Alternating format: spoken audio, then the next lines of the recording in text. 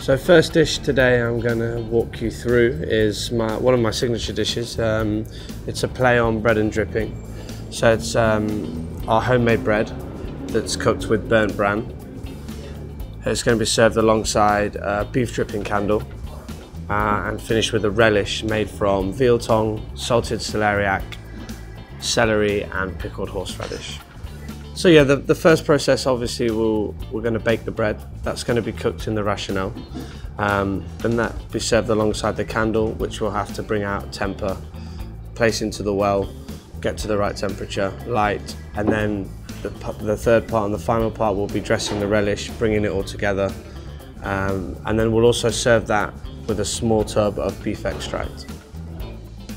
So once, once all the ingredients are there, the bread will be baked and then once it's baked, we bake it to order and then it's carved into quarters, placed inside a small leather bag.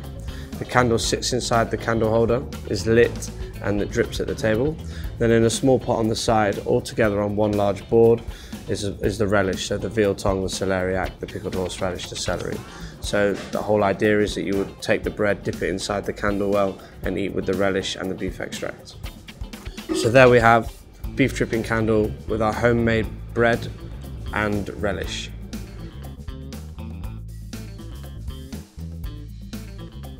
So the second dish I'm going to cook for you is whole roasted duck with honey, Szechuan and coriander. It's going to be served alongside uh, fresh plums that are right in season with nasturtiums and fennel flowers. So the duck, we take the, the whole carcass and we rub the skin with honey and then we finish it with fresh coriander seeds and Szechuan pepper.